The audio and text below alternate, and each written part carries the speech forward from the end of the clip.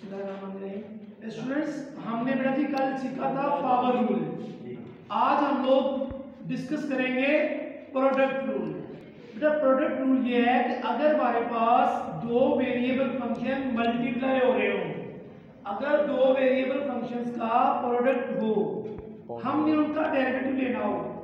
एक तो ये होता है, जैसे हमने नीचे एग्जांपल देखते हैं, ये दो फ़ंक्शन हमारे पास क्या हो रहे हैं? मल्टीप्लाई हो रहे हैं.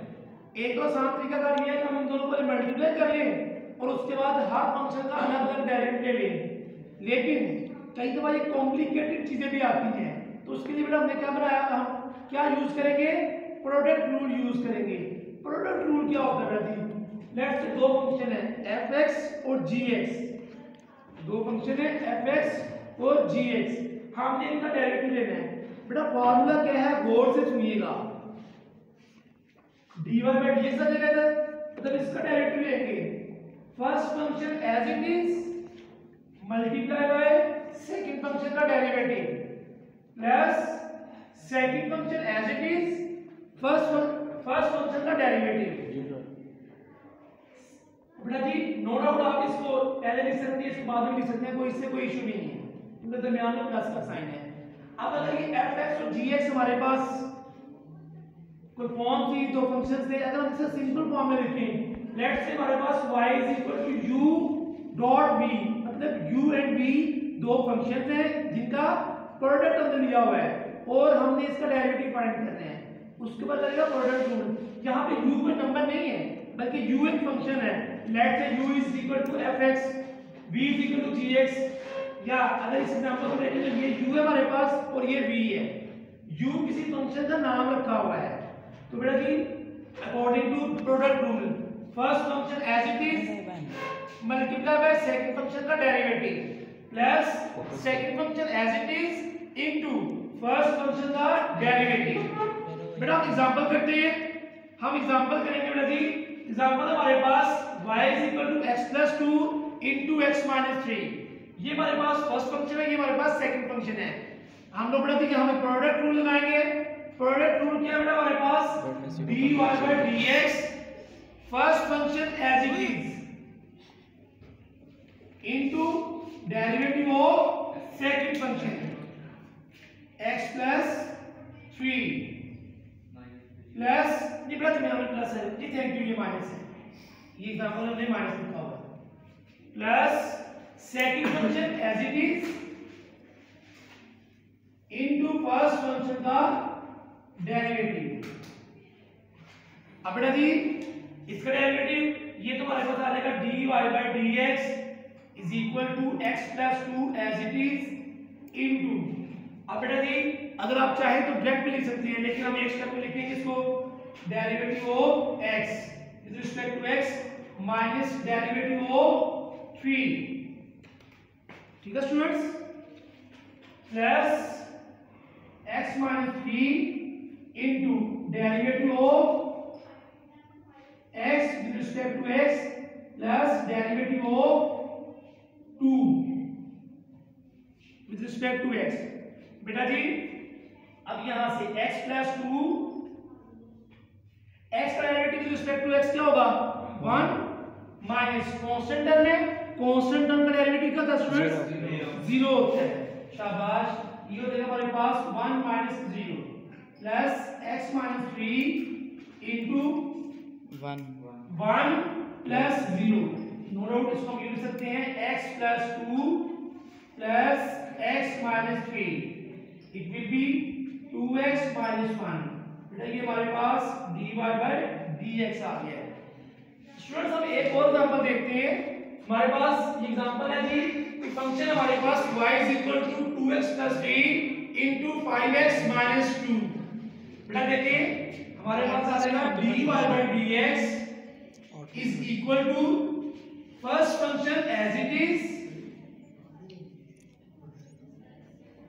into derivative of second function second function क्या था हमारे पास 5x minus 2 plus second function as it is और बेटा जी ये हमारे पास क्या होगा जी derivative of first function which is 2x plus 3 students इसको देखिएगा।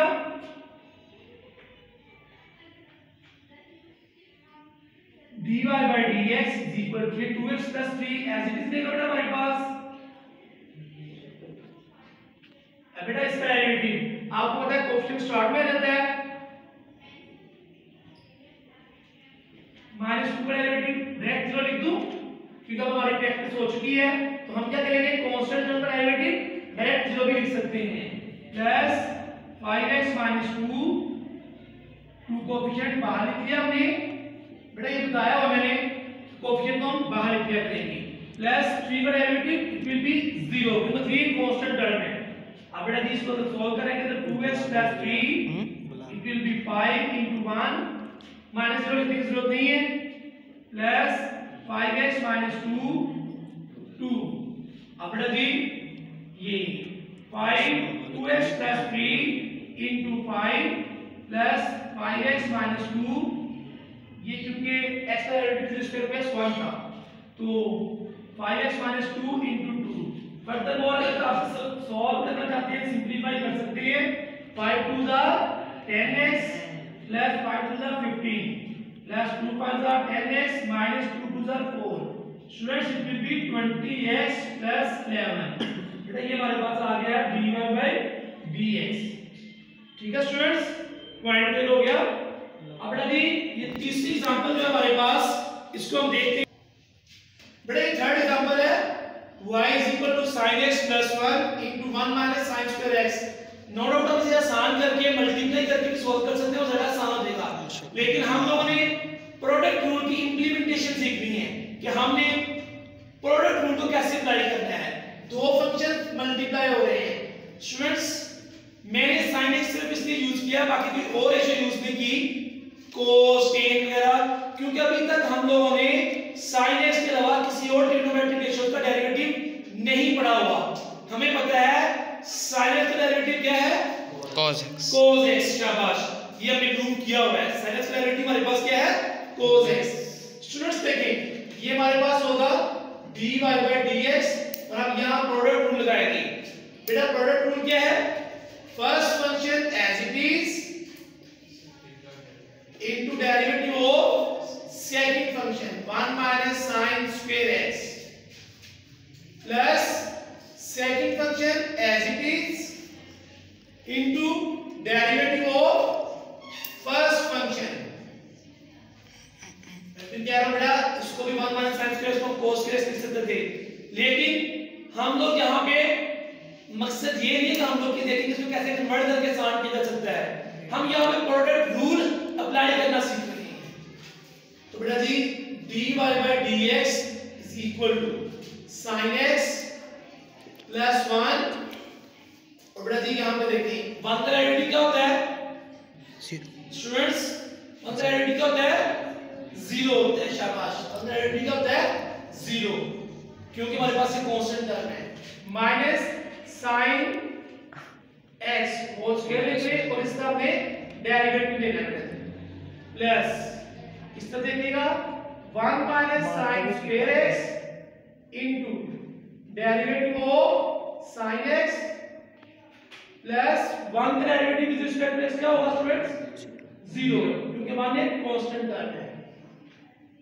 अब बेटा जी ये sin x प्लस 1 ज़ीरो खत्म हो जाएगा माइनस इसका डेरिवेटिव क्या होगा? क्योंकि होल पावर टू है, इसके ऊपर पावर रूल लगेगा। इसके ऊपर कौन सा रूल लगेगा? पावर रूल लगेगा। बेटा वो क्या है जी पावर पहले पावर में से एक minus two minus one into function का डेरिवेटिव फ़ंक्शन क्या जी? साइन एक्स प्लस बेटा ये क्या होगा? One minus sine square x into भाई साइन एक्स का डेरिवेटिव हमने पढ़ा हुआ है। क्या होता है? Cos x. Into derivative of angle ये साथ में लास्ट लिखना होता है बेटा क्योंकि यहाँ तो डेरिवेटिव x आया अगर x का छोटा डेरिवेटिव आ जाता तो उसका डेरिवेटिव लेना होता है। X का डेरिवेटिव लेंगे तो मतलब उसका डेरिवेटिव 1 होता है। नो माइनस टू स्टार्ट में लिखे कांस्टेंट यूज़ हो रहा है। Minus two sin x plus 1 into ये क्या हो जाएगा? sin x की पावर 2 माइनस 1 it will be sin x. और बेटा जी, sin x का डेरिवेटिव क्या होगा? cos x into derivative of angle angle means x. Plus ये वाली वेरिएबल है 1 माइनस sin square x cos x into 1 बेटा जी minus two sine x plus one into sine x cos x one minute होगा तो cos x का यही कर मारेंगे हमारे पास। Plus one minus sine square x into cos x students ये further solve हो सकता है। सिंप्लीफिकेशन हो सकती है। लेकिन हमने यहाँ पे सब क्या सीखा था। प्रोडक्ट सीखना था। हमने प्रोडक्ट रूल सीखना था। वो हमने बेटा जी सीख लिया कि इसको ऐसे करेंगे। ओके स्टूडेंट्स अल्लाह हाफिज।